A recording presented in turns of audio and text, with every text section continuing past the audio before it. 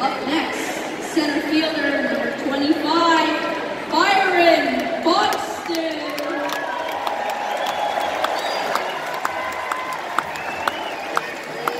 Show me your side of your face.